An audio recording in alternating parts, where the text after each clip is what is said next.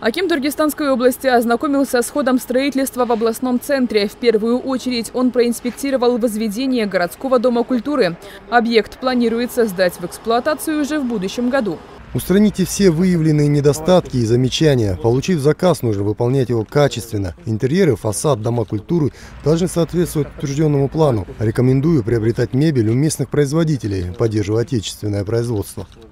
Строительство Дома культуры завершено на 75%. Объект, который возводят по заказу отдела строительства Туркестана, создаст условия для развития культуры.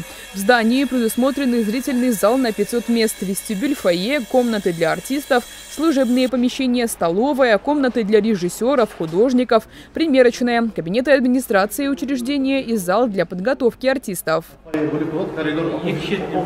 Облначальник также ознакомился с ходом строительства водохранилища «Сельмак». Стратегический объект планирует сдать в эксплуатацию в этом году.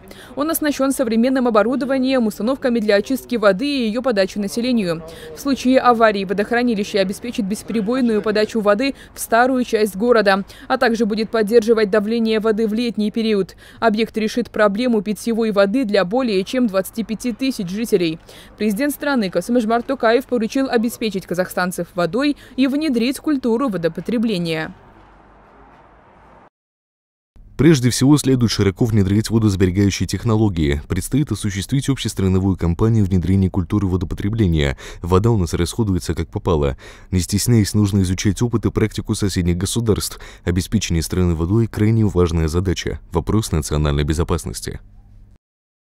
Дархан Сатабалде также осмотрел улицу Аль-Кожа-Ата, где ознакомился с проектами будущих социальных объектов. На этой территории планируется строительство жилых домов, объектов предпринимательства и социальных учреждений. Глава региона отметил необходимость тщательной оценки всех проектов и строительства только тех объектов, которые будут востребованы населением и украсят архитектурный облик города.